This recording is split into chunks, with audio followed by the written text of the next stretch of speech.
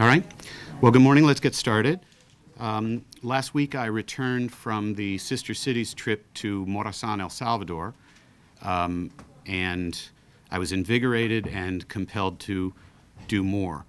Uh, four years ago, when um, County Executive Leggett first established these sister city agreements with Morazan, El Salvador, I accompanied him.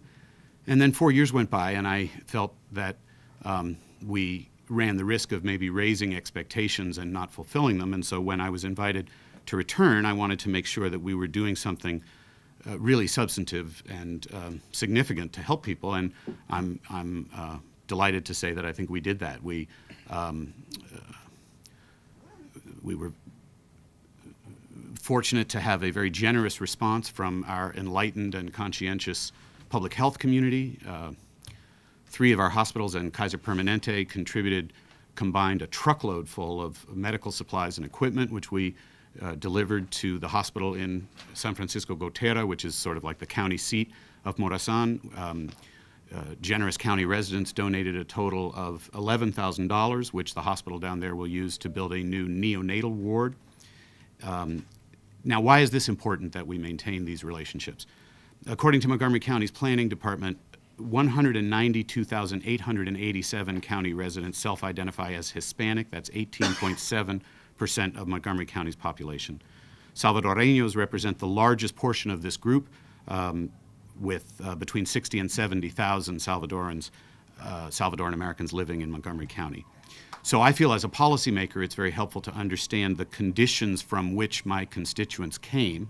I also think that the appropriate response to migration is not to build ever higher walls between ourselves and our allies and trading partners to the south. I think uh, that if migration is a challenge, and it is, both for the um, communities from which the migrants leave and the communities to which they come, what we as uh, hemisphere should do and as the United States should do is to stabilize the conditions in those countries and to seek uh, more healthy and prosperous um, Western Hemisphere, throughout the Americas. And so, in a small way and in an entirely voluntary way, um, I think we've, we've made that difference. And um, I am eager to work with our hospitals to continue this pipeline. They need to refresh and replace equipment all the time, and the equipment that they replace is still functional, but uh, they're required to have the latest and the best generation of equipment.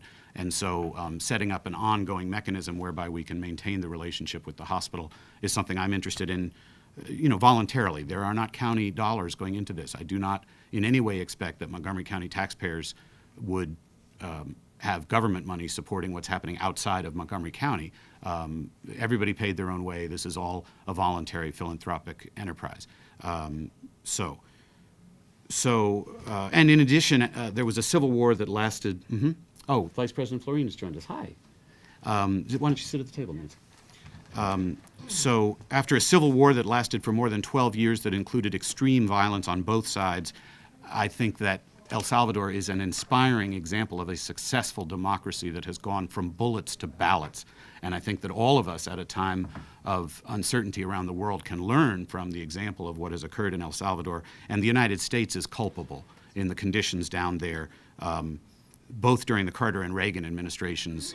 Uh, in effect, the United States um, provided the, the equipment and the material and the funding that um, enabled the Civil War to go on, and that was what began the diversification of our local population. Um, in the 1980s, uh, the demographics of Montgomery County changed dramatically, and it was a direct uh, response to President Reagan's involvement in the Civil War in El Salvador. So we have a long-term obligation, I think, to help the people down there. Tomorrow, the County Council will discuss the factors driving the cost of county government. I requested that the County Council staff schedule this briefing so that we could begin to set the stage for budget discussions without the time pressure routinely associated with our operating budget cycle. Mr. Leggett has been publicly calling for a property tax increase next spring in excess of the charter limit. I'm not saying today whether I believe there should be or should not be a property tax increase. I believe it's important that we have a full, transparent, and thoughtful discussion of all of the options available related to the cost drivers of county government so that we can make educated decisions. We need to evaluate the most up-to-date revenue numbers and costs in the spring uh, when uh, Vice President Floreen will be our presiding officer, um, before we consider increasing the tax burden on our residents. There are factors that are within the control of county policymakers, including the amount of funding that we provide for programs, projects, and services, the compensation and benefits that we provide to our employees, and the size of our workforce. There are also, and this is extremely significant, factors that are entirely beyond our control, including enrollment growth in our schools, the state's maintenance of effort requirement, the shift of pension obligations to the county, and the Wynne case, which is expected to reduce our revenue by more than $150 million in fiscal years 15 through 17, and $250 million um, up to fiscal 18. Finally, I just want uh, briefly to talk a little bit about liquor control. The liquor control mechanism that we have in place was established many, many years ago by the state. And the revenue that comes to us has been an integral part of our budget for decades. It is not responsible to have a conversation about privatizing liquor control without talking about how to maintain that revenue stream. I just outlined um, factors that are within our control and those that are not within our control as we evaluate next year's budget. Um, within the next few years, if we uh, don't have the revenue from liquor sales, uh, which is also securing about um, uh, how much in bonds here? It's about, a- um, well, I, I- our letter said it was about 150 million in bonds. 150 million dollars in bonds. Um, That's just not a responsible conversation, and it's not responsible for elected officials representing Montgomery County to only talk about one side of the equation. I personally, and I think all of my colleagues recognize that um, both the management and the customer service at the Department of Liquor Control has been unsatisfactory. And that's why our ad hoc committee on liquor control uh, approached this in such a thoughtful and serious way, looking at all of the balanced factors involved. I also know that my constituents complain that they can't buy beer and wine at grocery stores, but none of this conversation would address that problem. If the General Assembly wants to allow beer and wine sales at grocery stores, they should do that. That's fine. That would not harm uh, our ability to balance our budget. But that's not part of the proposals that are before the General Assembly today. And I also just want to say to my very good longtime friend, Comptroller Franchot, he did not weigh in during the ad hoc committee's deliberations. I mean, we were very public. We had public hearings. Uh, we had uh, months of public discussion of this topic. Um, I understand he has a pressing interest, and I understand that there is a direct connection between liquor sales and economic development and a thriving and dynamic restaurant scene. That's why we convened the ad hoc committee, and that's why we devoted so much time and attention to this. But um, we didn't hear from our state legislators. Delegate Barkley, actually, to his credit, did stay involved. He chairs the um, alcohol subcommittee. Uh, but we didn't hear from Mr. Franchot. We didn't hear from Mr. Frick. So it would have been useful if they, you know, given their uh, evident interest in this topic, had they participated with us. We want to discuss this in a collegial and collaborative way. The last thing I would say is, you know, um, beer and wine sales in, in grocery stores are not on the table, even though that's a source of a lot of complaints of my constituents.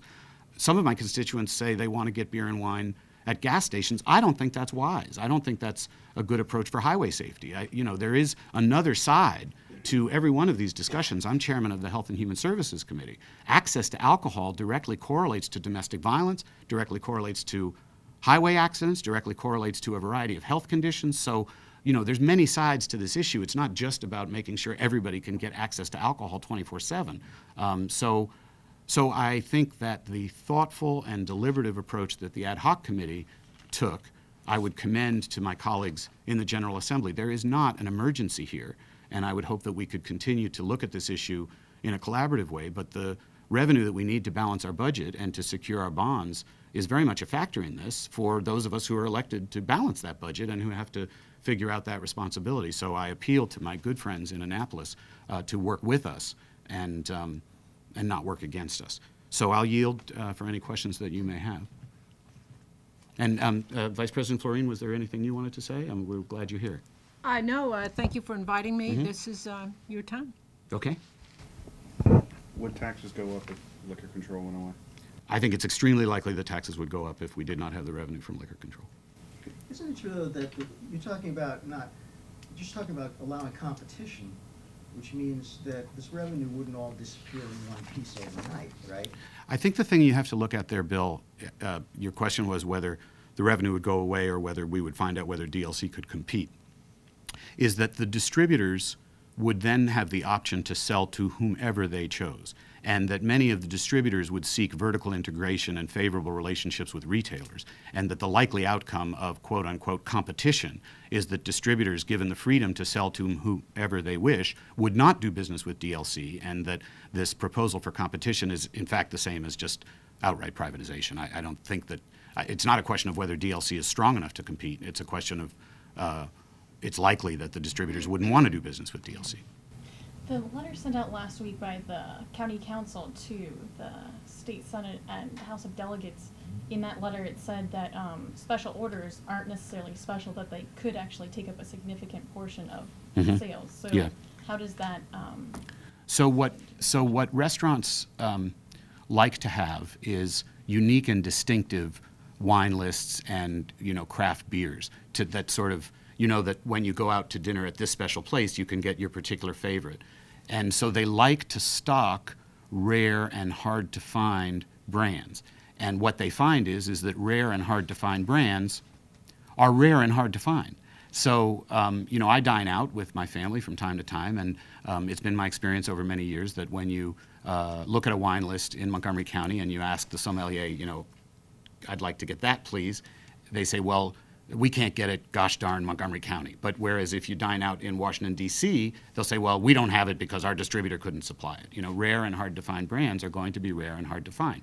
With respect to special orders, uh, we agree that those could be privatized. Um, we, we would want to charge a fee to the distributors. I know that will be controversial. Any changes here will be controversial. The story of liquor law is a story of competing interests that lobby Annapolis heavily. I have no idea what will come out of this General Assembly session. Uh, but I do hope, as I say, that our good friends, we all represent the same constituents, will uh, work with us and not work against us. Regarding the uh, meeting tomorrow at two PM and the findings of the report on high salaries, is Ike Leggett going to be there to have his input in this discussion tomorrow? Um, Well, so first of all, the, the discussion tomorrow is about all of the cost drivers that affect the size and shape of our county budget and why county government costs what it does.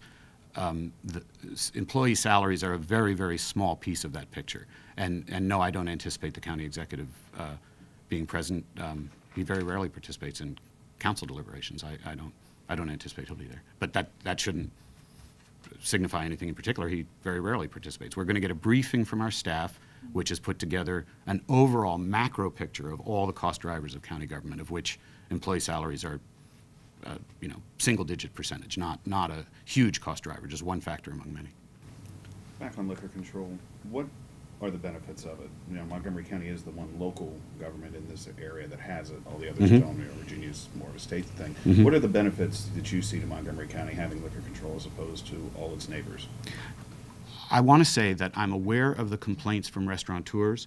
That's why we convened the ad hoc committee. I don't think the Department of Liquor Control has kept up with the times. I don't think it's had uh, strict enough management or good enough customer service. So I'm aware of the complaints, and we want reform. And we've offered a recommendation for reform that is responsive to the majority of complaints that we've heard, which primarily came from restaurateurs with respect to the availability of special orders. Um, Having said that, my own experience as a, as a moderate consumer of the product is that prices in Montgomery County-run liquor stores are very good. I live on the district line, and, you know, I don't want to get myself in trouble, but I will confess occasionally I have purchased products in the district. I've found the prices higher. Uh, that's been my own anecdotal experience. Um, I don't find any difficulty in getting access to beer and wine when I want it. Beer and wine stores are available. So, so f- my own experience as a moderate consumer has not been that I can't get access, and the majority of complaints that I've heard have been from the restaurateurs. is that access within the county or wherever you decide to purchase these items? Within, Mon- well, we're talking about Montgomery County. Right, okay. Yeah, within Montgomery County. I, I don't, I mean, I consume beer and wine, I consume spirits in moderate amounts, and I am able to get them when I want them. So, um, the, certainly, I think the revenue arrangement has been in place for decades. That's just a fact that we have to contend with. And, um, and also the public health aspects of having uh, licensed commissioners be you know, somewhat parsimonious in terms of, you know, we don't have liquor stores on every corner here. Uh, An overabundance of liquor stores in the District of Columbia and in Baltimore City has created problems. So, again, I would not support beer and wines, cold beer and wine stores in gas stations, uh, sales in gas stations. I don't think that's healthy. So I, I think um, there's a spectrum of regulation of liquor that every state and local government is somewhere on that spectrum. And, and um, there are, uh, I think it's 11 control states. Um, it's unusual to have the control in the county, and we're open to the conversation about reform, but that conversation has to include how are we going to continue to balance our budget and secure our bonds. State Delegate Bill Frick is, my understanding is suggesting that the voters decide by referendum. Why is that not a good idea? You know, Maryland is pretty restrictive in how things get on the ballot. California is very liberal, and the ballot initiatives in California have sometimes been contradictory. They've made the state very difficult to govern, and they are almost always heavily dominated by free spending special interests. So, um, you know, my constituents hire us as elected officials to balance competing interests and make very complex judgments about budget priorities. It's entirely possible that if this matter is put on the ballot, the voters will decide to privatize liquor sales. And, and I, I understand that this is a popular issue for those that are proposing it. But elected officials are going to face the consequences of how do we balance the budget and how do we make up the revenue and how do we secure the bonds. It's extremely likely that the complexity of those issues would not thoroughly and adequately be clear to voters and that the liquor industry would uh, pour unlimited spending into a ballot referendum campaign. And I think the other side would not likely be told. I would not support spending taxpayer dollars on a ballot initiative. That's been done before. Uh, I, I don't think we should do it again. I, the council didn't agree uh, to commit taxpayer dollars to the campaign on effects bargaining for police. Um, I, I don't think that's something that the county ought to do in the future. Delegate Frick said it's up to thirty million dollars would, in revenue, is that what your budget is? Every year, Yeah, it's, it's up to about thirty million dollars. every, every year forever, right? Said in the process of, you know, multi-billion dollar budget, that thirty million dollars wasn't a whole lot of money. Well, that's great. I hope he can suggest how to make up the difference. I, I really do. I mean, I, you know, I'm, I'm not falling on my sword to maintain county-owned liquor stores, but we've got to find a way to balance the budget. And so those who are proposing privatization, it would be responsible if they would indicate how we're going to make up the difference. I hear often that, well, we'll make up the difference in increased sales tax, okay? Except that Montgomery County doesn't control the distribution of sales tax. And Montgomery County is um, very much a donor jurisdiction. We put in a whole lot more in revenues from our residents than we get back. And so if there was a way to set aside sales tax revenue for Montgomery County to use, I mean, I, you know, I would hope that there would be some conversation uh, with my good friends who are proposing privatization. Um, is 30 million a small amount? Is the Wynne decision a small amount? Is the pension shift a small amount? Is maintenance of effort a small amount? At some point, all of these things aggregate, and we're looking at a potential tax increase. So it's one more factor that we have to consider as we try to balance our budget every year with rising enrollment in the schools and increasing demands on government services. Back to the letter last week that was sent, that was signed by, um, county council members, um, it was listed that there, there were some issues in the way the Department of Liquor Control operates. Um, I was wondering if you could give me some insight as to what those problems might have been. Absolutely. Well, we have an ample public record accumulated by the ad hoc committee over about eight months of work, and um, we took testimony from restaurateurs who complained that um, their orders were not available when they wanted them, uh, that there were missed deliveries, um, there have there had been complaints of um, um, some truck drivers uh, who were drinking on the job. They were fired. Uh, there were complaints about um, uh, in, incorrect sales amounts, but you know, again, I think the management issues have been largely addressed. I hope the customer service issues have been addressed as well, but we're calling for privatization of the special orders, which would address most of the complaints about the particular brand and the particular quantity not being available when it was wanted. It'll be on the private sector to, to meet those demands. Is there any need for a sort of source of oversight for the Department of Liquor Control? Well, that, we created the ad hoc committee on liquor control to Oh, that's what that provide is. that oversight. That's, Forgive me. the council has the responsibility of oversight, and we've exercised that responsibility. Okay, um, and then I was wondering, uh, Ms. Floreen, why, why did the whole council sign this letter that was sent to the? Well, it was eight of nine members, but I'll let Ms. Floreen respond. Okay. Well, because we agree. Uh, It's been suggested that, uh, I- I, I, speaking for myself, and I suspect for others, some of us were somewhat taken aback by the initiative that, uh, um, by uh, the comptroller and members of the General Assembly, uh, given the fact that we had spent so much time worrying about this up until this day. And so we, of course, wanted to uh, get the story out and share uh, information that apparently hadn't been, well, it wasn't clear whether it had been uh, examined. Has the council received a response to that yet? No, no, yeah, we just sent it. That's Yeah. So if, um, if it does go on the ballot, you're right, that you have the liquor industry and the restaurant industry bringing enormous resources to this. Who would, who would your allies be in, in a, in a fight like that? Particularly if you couldn't, obviously you wouldn't put tax money into it. How would you, how would you put together a coalition to actually, you know? So let me just say, we're actively talking about that. I mean, I'm not sure that it's worth fighting it. So, you know, I, I would just hope that our friends and colleagues in the legislature would find a way to make up the revenue. Um, I, I don't, I don't know, you know, again, I don't support the use of taxpayer dollars to fight citizen-initiated ballot initiatives or referenda. We don't have the power of initiative in Maryland. Um, this is not citizen-initiated, this is being, you know, potentially initiated by the General Assembly. I think we would have to really talk about whether it's even worth putting up a fight. I don't know the answer to that. That, that would be a political, strategic discussion that really hasn't even begun yet.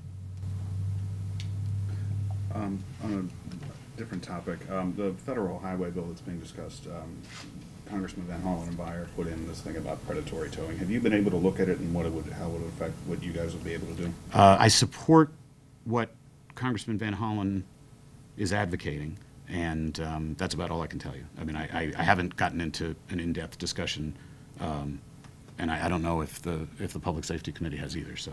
I, they, I mean, they haven't responded to the federal highway bill yet, so. Any other questions? Any decisions on the radon bill? How, how, how you feel about it? The last time we talked, you said you hadn't made up your mind. Uh, Yeah, um, there is no question that radon is a serious health threat, and the bill, as amended, would enable the buyer and the seller to negotiate as to who should bear the cost of the mitigation. If it's found that a radon hazard exists, it's urgent for the homeowner to, to address it. So um, as a matter of public health, I'm prepared to support the bill. Any other questions? Any advice or that you have for Ms. Floreen, and how, how have you enjoyed this position? Oh, I've enjoyed it enormously, and I'm just, uh, I've just enjoyed working with my colleagues. We've just had a really good year working together. I, I really like all these council members, and when you find that um, nine similarly inclined, hardworking, thoughtful, serious policymakers get together, you get a lot done. And at my next meeting, I'll have the list of everything we accomplished this year. It's, it's uh, noteworthy. We, we've gotten a lot done together, uh, and it's just been a pleasure working with every single one of my colleagues. Every, uh, every single one of us have pulled together and represented uh, the county well. All right? Wonderful. Good, good being with you. Thank you so much.